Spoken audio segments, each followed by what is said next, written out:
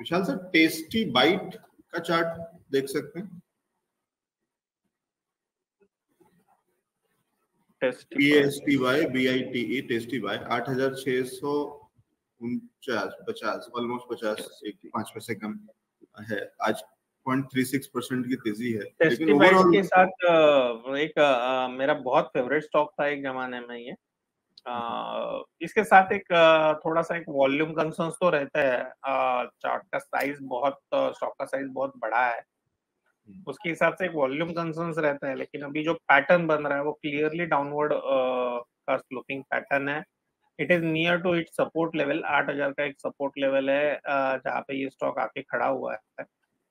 Okay okay. अगर further sell off इसमें आता है आठ हज़ार का लेवल अगर ब्रेक होता है then we should get into doubt seventy seven hundred से सेवेंटी फाइव एट थाउज़ेंड ये इसका बेसिकली एक सपोर्ट जोन है।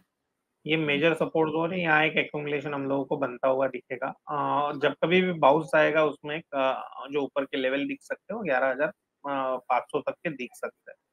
लेकिन वापस एक यहाँ पे मैं रेड अलर्ट दूँगा कि वॉल्यूम बहुत लो होता है। इसका वीकली वॉल्यूम भी सिक्स हंड्रेड स्टॉक का ही है।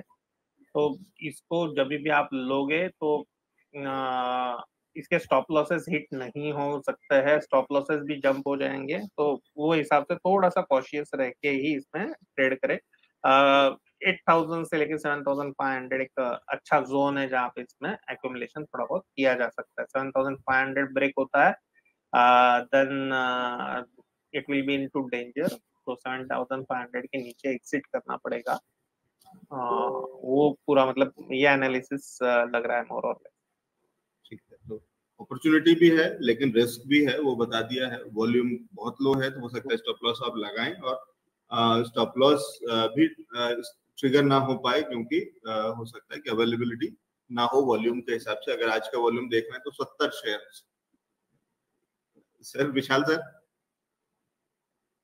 yes sir seven zero सत्तर शेयर्स का वॉल्यूम सेवेंटी शेयर्स का वॉल्यूम है तो कहाँ पे स्टॉप लॉस लगा? इवन बीडीस बीडास का डिफरेंस भी देखोगे तो इसमें बीडास का डिफरेंस भी बहुत ज़्यादा है तो इम्पैक्ट कॉस्ट बहुत ज़्यादा हो जाता है। ठीक है तो वो रिस्क है और उसके चलते थोड़ा सा सावधान रहने की राय है। लेकिन अगर बाउंस बैक आएगा और वाले सारी चीज़ें तो एक सपोर्ट के पास है। क्या हो सकता है दोनों तरफ़ किस तरीके के अपॉर्चुनिटीज़ हैं किस तरीके के रिस्क हैं? दोनों चीज़ें बता दी सर ने इसलिए सारी चीज़ों को ध्यान में रख करके ही काम करें। बाज़ार के